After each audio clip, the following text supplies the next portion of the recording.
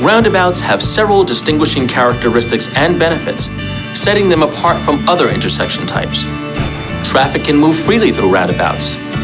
This makes them more efficient than signalized or stop-controlled intersections. Unlike other types of intersections, roundabouts are designed to slow the speed of vehicles entering by deflecting them from a straight line path into the roundabout.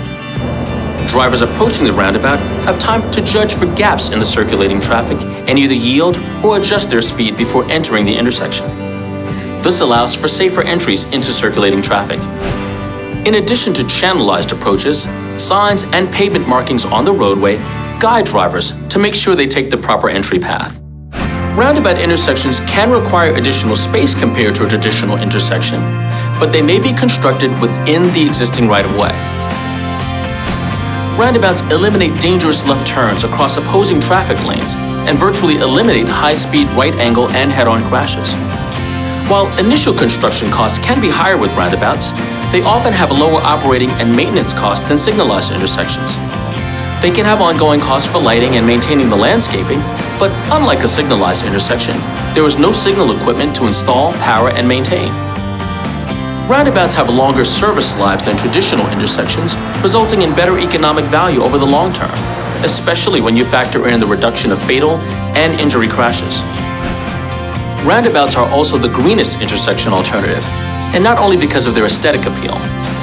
Reduced vehicle idling means fewer emissions and less wasted fuel. Less acceleration and fewer sudden hard stops means quieter, more peaceful transportation through communities. Landscaping in the Central Island, splitter islands, and along the approaches can further benefit and enhance community livability. With all of these benefits, why aren't all transportation agencies building modern roundabout intersections? One of the biggest reasons transportation agencies overlook this proven intersection safety solution is out of concern that the public just won't accept them. Trying one roundabout is usually all it takes to convince even the biggest skeptic of their benefits.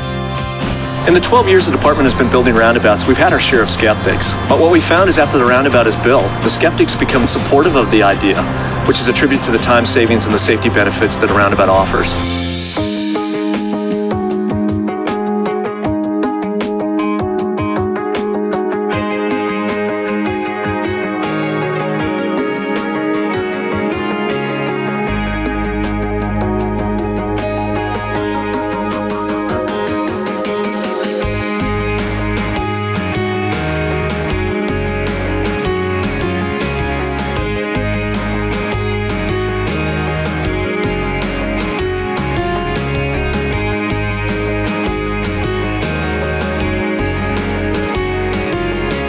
Some states now have roundabout policies that state that roundabouts should be considered as an intersection alternative. Numerous states like Washington and cities across the country like Carmel, Indiana, have embraced roundabouts and support their development. Washington state now has more than 150 roundabouts, and the city of Carmel, Indiana alone has more than 50 roundabouts, with many more planned. We were one of the first communities in the Midwest to build roundabouts and make the determination that they work better than stoplights in many, many cases. A common concern for people that have not experienced driving through a properly designed roundabout is that they won't be able to get used to the new traffic pattern. But studies consistently show just the opposite. The public overwhelmingly supports roundabouts after they are constructed. Older Americans in particular are supportive of roundabouts. By 2025, a quarter of all drivers in the United States will be over the age of 65. Intersections are the single most dangerous traffic environment for drivers of any age, with left-hand turns being the single most dangerous traffic maneuver that any of us can make. 40% of all crashes that involve drivers over the age of 65 occur at intersections. This is nearly twice the rate of experienced younger drivers. AARP would like to see more roundabouts constructed because of the many safety benefits that they present for drivers of all ages.